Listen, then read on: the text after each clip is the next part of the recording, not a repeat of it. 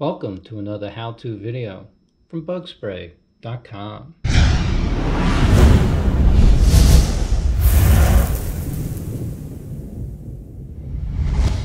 this video, we're going to inspect a trap that I suspect has captured something.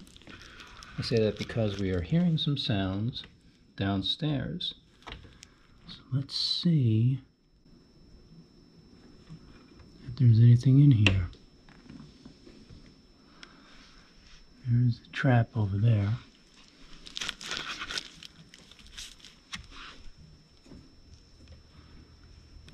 And there does appear to be an animal in there.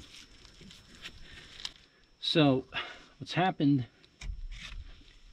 in this scenario is we're, you know, what I would call a knee space. It's basically a small attic area that I have in the corner of my home. And the intention of this was to use it for storage, which it has done to some degree. But for the most part, it has turned into what I would call an animal harborage or location that many small rodents like to use when it gets cold. And I had this situation under control for several years, but this past year, my power supply in here went dead, and basically, the sound repeller that you see in one of our videos was not on. And with it being off, these little guys started to come around. I didn't realize what we had, but I was hearing something. I did my pre-baiting, and then I went ahead and got this trap set the other night, and I captured one. You can see the other video of it, and now I've got another one. So we've captured two flying squirrels in the space of about mm, three days, and I will continue trapping until we don't get any more because this is huge. And we talk about this in our videos all the time about how these animals get used to coming in and using the same areas over and over.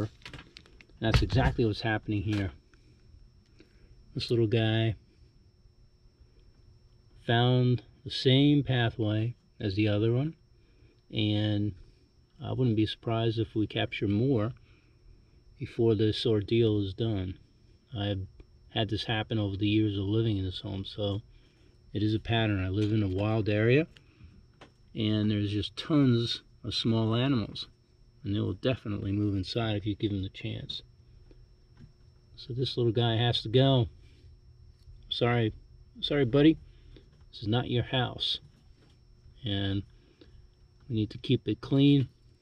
We need to keep it rodent free. So you'll be relocated to a safe area.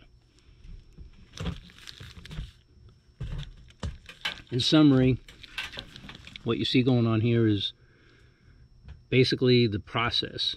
And this is the second animal. I suspect I'll catch a few more before I'm done.